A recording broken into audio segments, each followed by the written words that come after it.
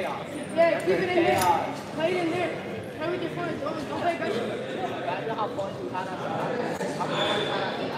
Yeah, you know how much it Everyone hurt you? does that stuff. And the ace was doing the stop. Come on. One, two, three, move on!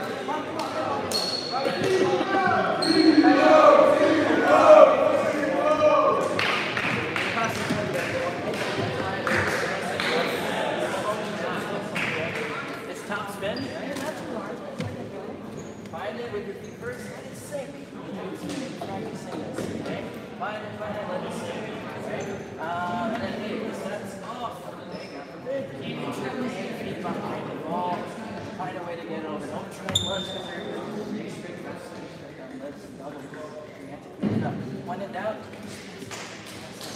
Uh, one thing as soon as we pass on service and get that ball up, we got to get off the net so we can get ready to hit, right? Unless you hear Alfred calling for Alfred or Isaiah for help, don't go near that second ball. Understand? Okay, get ready to hit. Transition on the. Hey, once you get an over service, seat, go to your base. Come on. Shake it off. You got this. Wake up. On. Pumas three. One, two, three, Pumas.